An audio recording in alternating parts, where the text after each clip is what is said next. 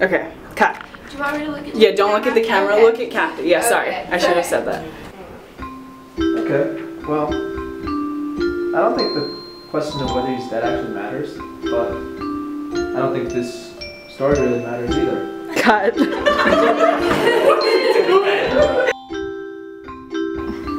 we're just gonna get that. Do the handoff. Take two. Take two. Okay, guys, today we learn about Ray Bradbury, the dead man. Now, somebody tell me about the symbolism involved in uh, the dead man, if he's actually dead. I'm not sure if he is actually physically dead, but I think that death is more symbolic of his emotional state. After Okay. his wife left him, he wasn't sure if life was worth living anymore, so he may as well be dead. Okay, well, Cut. Vous êtes Halmais. Je vous expliquerai.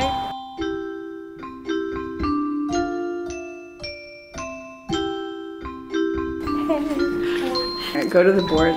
Just turn around. turn around like a normal person. But that grossly ignores the social context. well, the social context in this, um, Cut.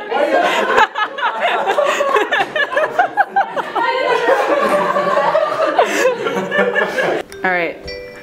Oh, sound's still rolling, accidentally. oh shoot, I'm supposed to not be smiling.